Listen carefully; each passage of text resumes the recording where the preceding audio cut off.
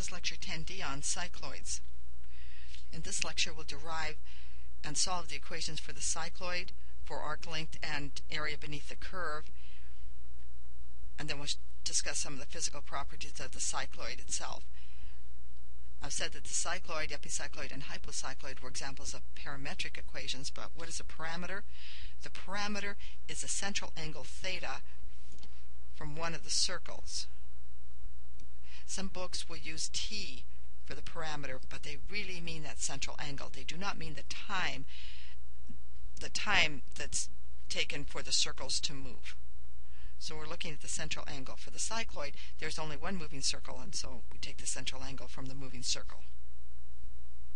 In this slide, I'm going to derive the equations for the cycloid from the physical picture of the construction of the cycloid. So what we're looking for are the values of x and y associated with this particular curve here, the red line, which is generated by the pencil, p, as it moves. So we want the coordinate pairs of p, the xy values of p, the location of the pencil. So let's look first at x. So we want the x value for the pencil that's right here. So in terms of this picture, this distance x is the distance from, change color, from 0 to t, and T is a point of contact between, between the circle and the line, minus the distance from P to Q. Okay, so what is O to T? Remember the circle has been in contact and has moved without dragging or slipping as it rolls along the, the straight line. So in a sense it's just sort of peeling away from the straight line. Every point of that circle was in, uh, in contact with some point of the straight line as the circle rolled. Right?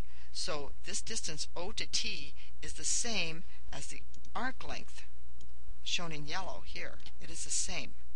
You can kind of get a, uh, a picture of that in your mind that the circle was in contact and just rolled away from it so that arc length is equal to the distance OT.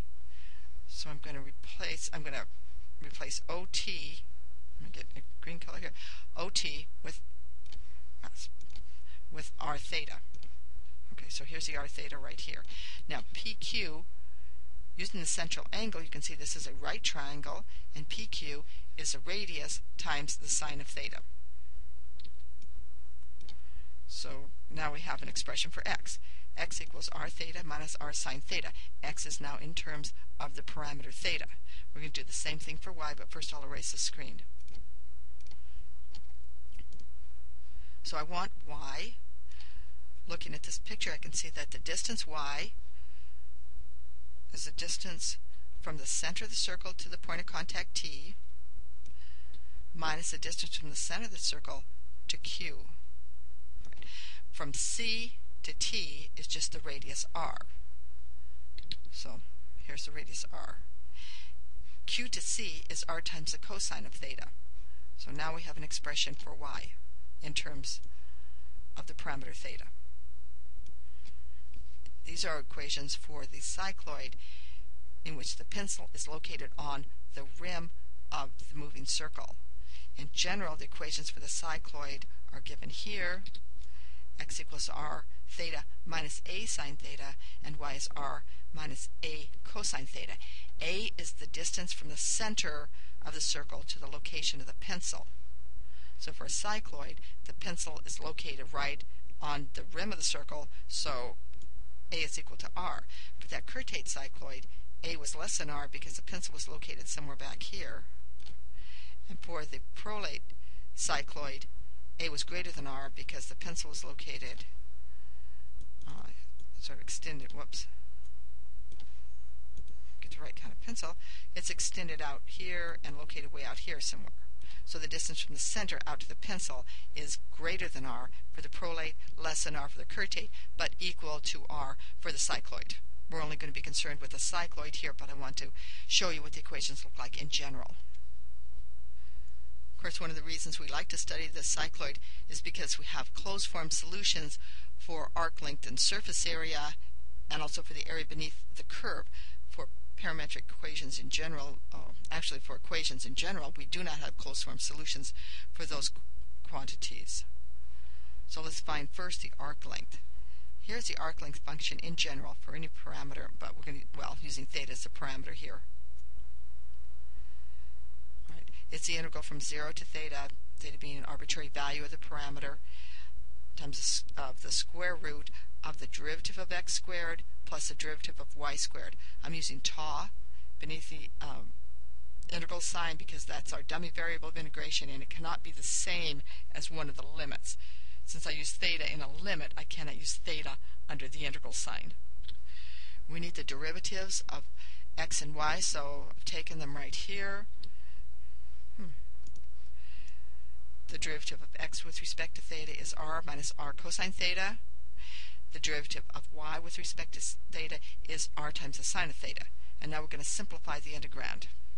Let's start first with just the derivative of x squared plus the derivative of y squared. And you remember we had r times the sine of theta and r times the cosine of theta. When we square them, of course, we end up with cosine squared plus sine squared terms, and the, that equals 1 by the Pythagorean theorem. So we get a, um, a much more condensed expression than we started with. 2r squared times the quantity 1 minus cosine theta.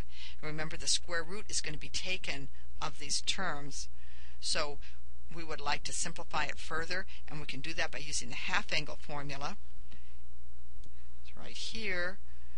And in this case, we're going to substitute for 1 minus cosine theta, we're going to substitute 2 times the sine squared of theta over 2.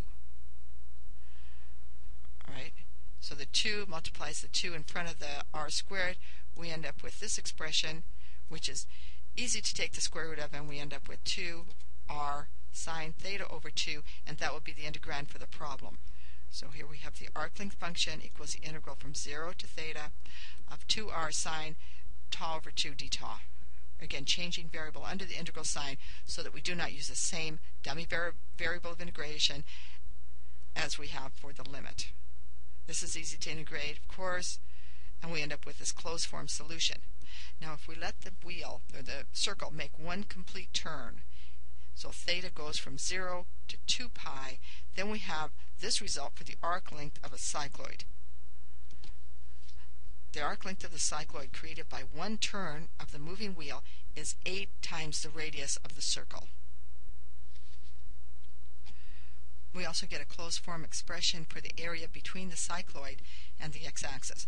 Again, we're going to use one turn of the wheel, so we're going to integrate from 0 to 2 pi, and in terms of a parameter, the area under the parametric curve is y, which is the height of the um, of the curve above the x-axis, and then from this change of variable we get dx by d theta, that derivative again, and we integrate with respect to theta. I can use theta here because I do not have theta in the limits of integration. We know y. We take that derivative, we ended up with actually exactly the same thing. So here's the expression for the area under the curve. This can be integrated. The answer is 3 pi r squared. That is the area beneath the cycloid, where r again is the radius of the moving circle. The cycloid curve has some interesting physical properties. And what I'm showing here, the cycloid has been generated, of course, by letting the circle roll along the straight line. Then the cycloid curve is taken and sort of cut and turned upside down and placed in this position here. In this case, it is the red curve right here. And what's being demonstrated in this picture is the brachistochrone property of the cycloid. And this, this property is that the curve of fastest descent, so we're going to start up here, actually within the square box. Actually, I hate putting zero I like putting 0 on the ground. I would put 0 here and 100 up here. But that's my preference, 0. And this would be 100. Okay, so you're starting, say, at 100 feet, and you want to design the uh, a curve for a surface you can slide down that will get you down to the bottom of this uh, 100 feet out, so you're in a box. You want to get down to the bottom, down to ground level as fast as possible. You might think, well, you just fall down here, fall down 100 feet, and then get up and run over here, and that's slower. You might think of a circular arc. Here's the circular arc. The time they're showing here for this particular case is 3.27 seconds. You might say, well, I'm just going to stretch a string and slide down it, or like sliding down a flat board, the time of descent there is 3.54 seconds. It turns out that the fastest descent is along a shape, um, a shape of a cycloid.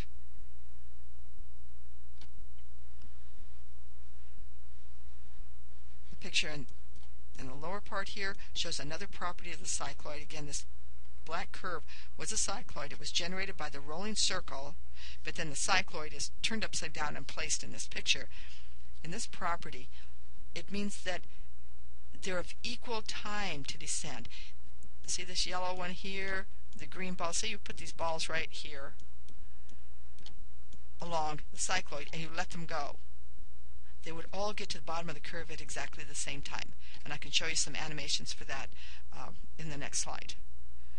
This is a little animation. So all these little dots start all up at the top. One is descending along a, like a guy wire stretched out from the top down to the bottom here, the top of say some pole down to the ground. The red is your cycloid, and then the other um, would be falling and then running over. Of course, this doesn't prove anything, it just demonstrates what we're talking about, that the cycloid would win. Is this ever used? There's some um, like hands-on science museums that have these kind of curves that that you can slide down. There's also another place. Let me show you that right now. Some of you might recognize this. I used to have one of these in my backyard that my boys built. Um, it's a skateboard ramp. What is a curve of fastest descent? It is a cycloid. I don't know if there's had a cycloid shape, but we did have a skateboard ramp. Now let's look at the other uh, property of the cycloid. In this picture from Wikipedia, we're seeing a demonstration of the still picture that I had in the uh, two slides ago. So now all these little objects, the blue, red, green, and yellow, are stretched out along the cycloid and let go, and it turns out they all end up at the bottom of the cycloid at exactly the same time. And that's the Tautochrone property of the cycloid.